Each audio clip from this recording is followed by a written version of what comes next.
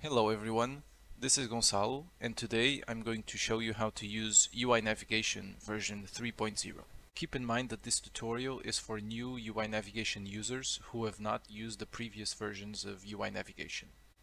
If you already used UI Navigation 2.0, you can click the link in the description to go to the tutorial specifically for previous users. The first thing that you should know before you use UI Navigation 3.0 is if you have used 2.0, you should remove it from your project or uninstall it on your usable engine version. Another thing is that if you want to access the plugins documentation, you can go to the plugins content folder and inside the docs folder you will find the UI Nav docs widget blueprint and in here you will find the documentation for all of the plugin. So after you have enabled the plugin and installed it or added it to your project, you should go to project settings and inside the engine category look for the user interface subcategory and make sure that render focus rule is set to never. So the first thing we're going to do is create a new UINav component. So I'm going to go to my blueprints folder and create a new widget blueprint. I'm going to call it W my component and I'm going to open it up.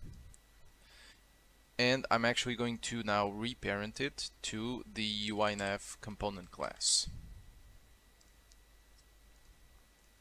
So what is a UINav component? A UINav component is supposed to be an individual navigation element, like a button or an option, and it must have a button, which must be called nav button,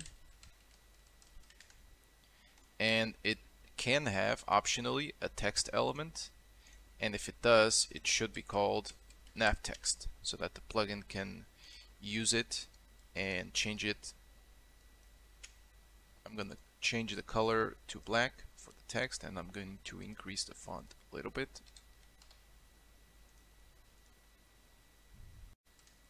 Keep in mind that all the navigation elements in your widget, if you want them to be navigated by the player with the keyboard and the gamepad and the mouse, they should always be UINav components. The only situation where they can be normal buttons that are not UINav components is if you only want them to be used by the mouse and not by the keyboard or the gamepad. So now that we created our individual UINav component, let's create a widget to populate with our UINav components.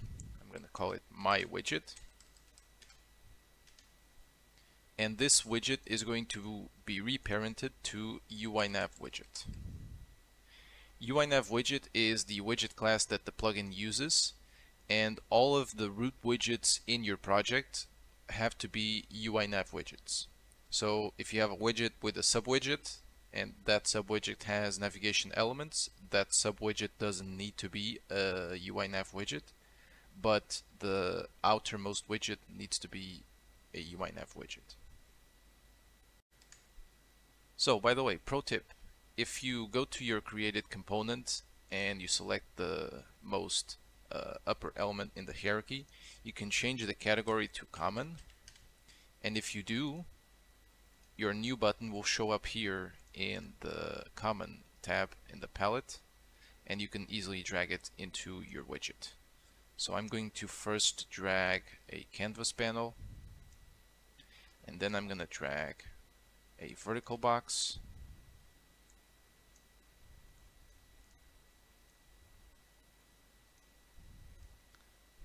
anchor it to the center of the screen. And I'm going to add three UINav components.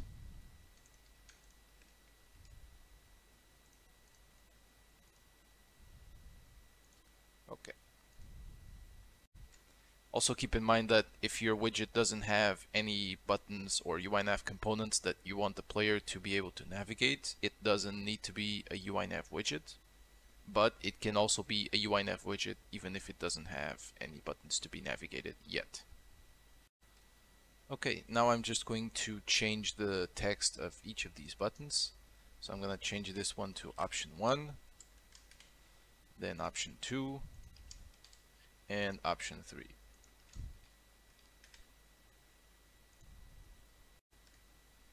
Now let's create our player controller which will add the widget to the screen. So I'm going to create a new blueprint class from player controller. I'm going to call it BP my player controller.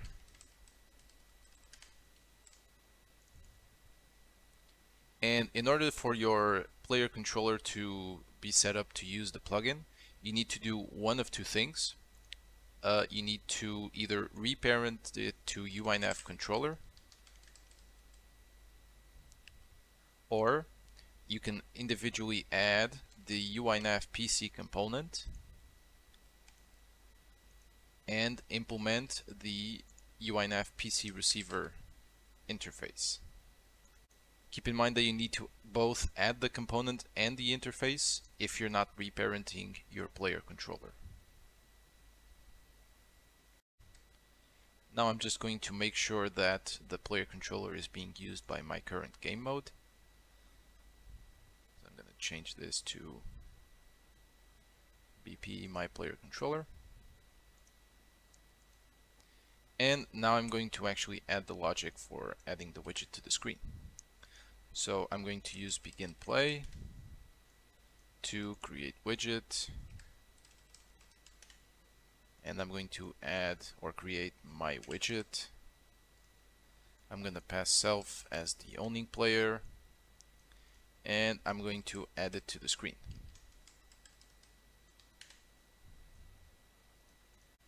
Now there are two events that are really important for your player controller when it's using the plugin which are the on root widget added and the on root widget removed.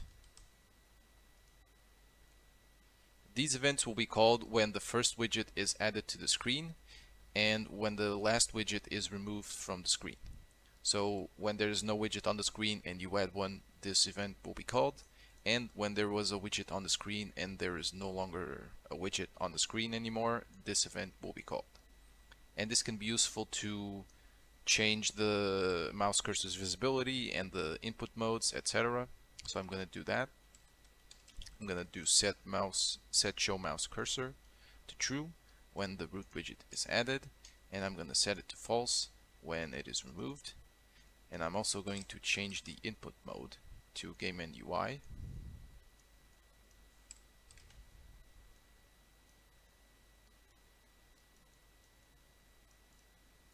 and then to game only.